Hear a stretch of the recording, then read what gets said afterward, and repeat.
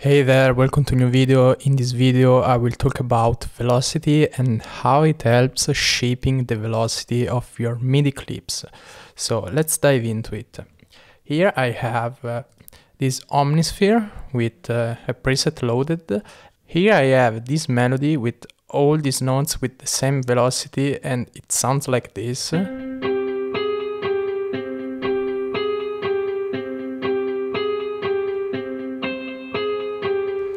Okay, so now let's play with velocity and let's see how it works. So here we have this graph that uh, simply tells us how low and high velocities are affected.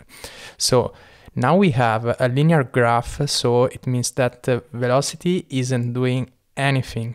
So now so here we have operation and this chooser selects whether the velocity effect should apply to MIDI note on velocities, so the velocity, or MIDI note off velocities, or both. Then we have uh, the mode, so we have clip, gate, and uh, fixed. So clip mode clips uh, not velocities so that they remain in range. Then we have the gate mode that blocks uh, nodes whose velocities are out of the range. And then we have the fixed mode that remaps all node velocities to the value out of the high control, so which is this one. So if we have fixed, we have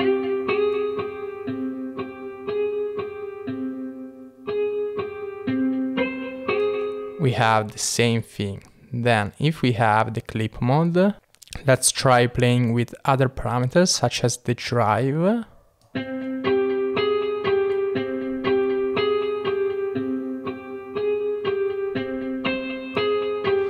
So here we have the same effect on all the notes because all the notes are at the same value. So, so let's try bring in some more variation so we can see how it works. So now the loop sounds like this.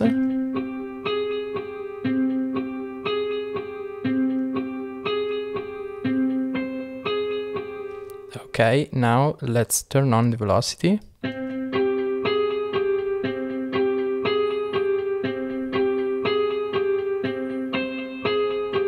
So all the notes, all the velocities are pushed up uh, gradually. Now let's go with the comp. So the comp basically makes this shape. So like this, we have lower notes going lower and higher notes going higher, but uh, there's the center that uh, is uh, quite equal. And that it's flattened out. Then if we go like this, we have all the high notes uh, kind of flatten out and the same for lower velocities, but we have a huge discrepancy between the high and the lows. So let's see how it sounds like this.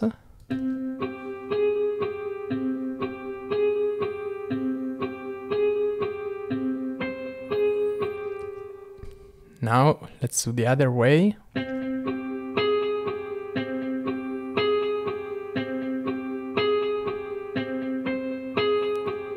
So way more contrast.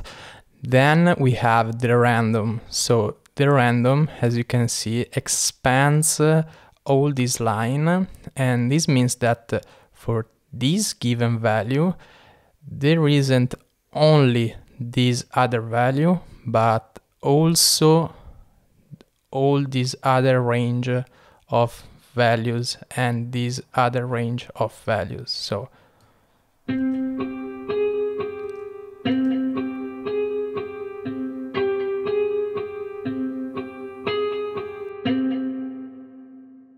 So it basically randomizes this effect. Then we have the out high. So this is the maximum value of uh, the velocity that we want. So this is zero.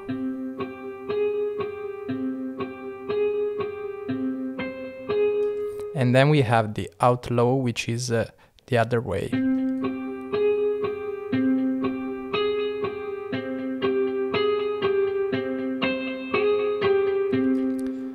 Then we have the gate and if we have notes out of this range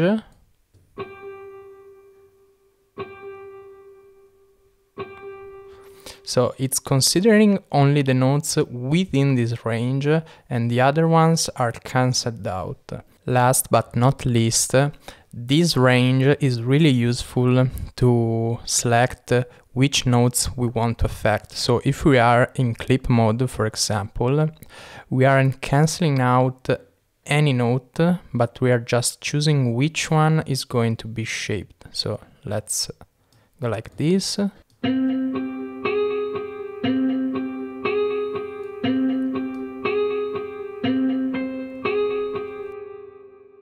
So we have more control over a narrow range and we can apply the comp and have it scaled within this range something like this or like this something like this. So that's it for this video. Hope you enjoyed it. See you in the next one